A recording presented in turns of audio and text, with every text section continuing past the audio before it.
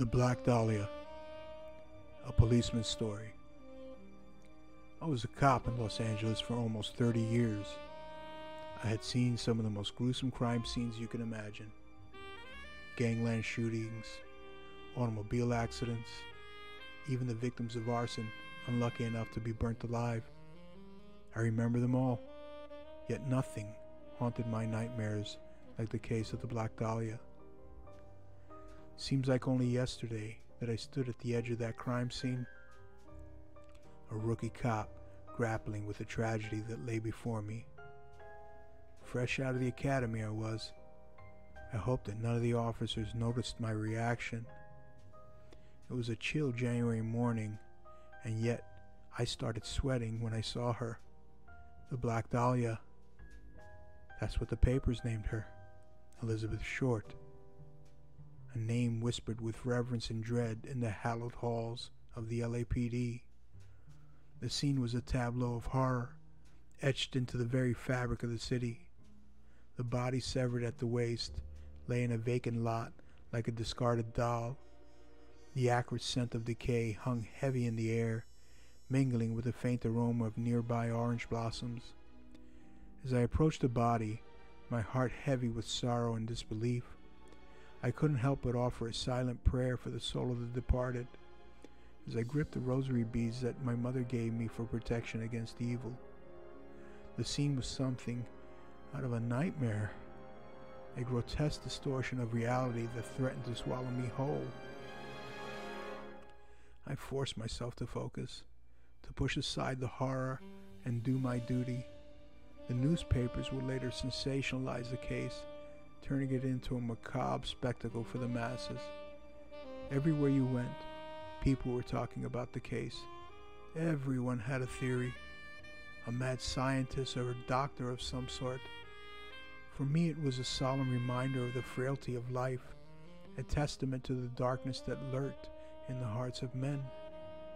This thought stuck with me and made me grateful for every day above ground.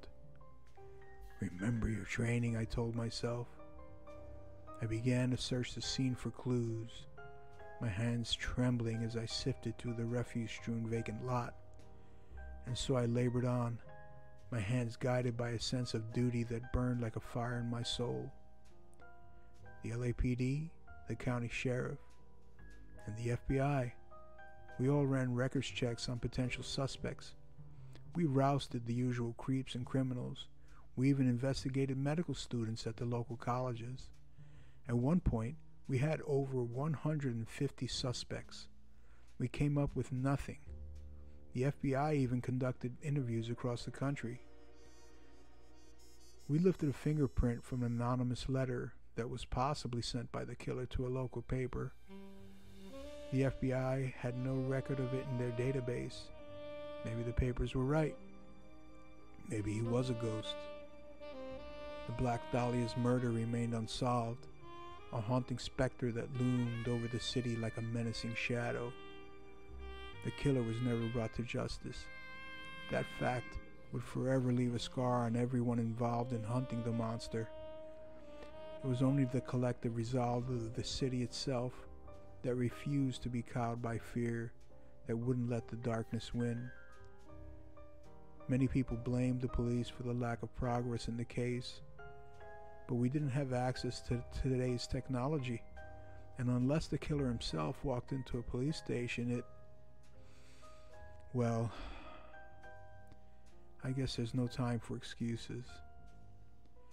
And though the Black Dahlia's killer was never brought to justice, I take some small solace in the knowledge that we left no stone unturned. For even in the darkest of nights, there's always a glimmer of hope, a light that shines through the shadows. I crossed myself once more as I left the crime scene that chilly morning, a silent prayer for her soul.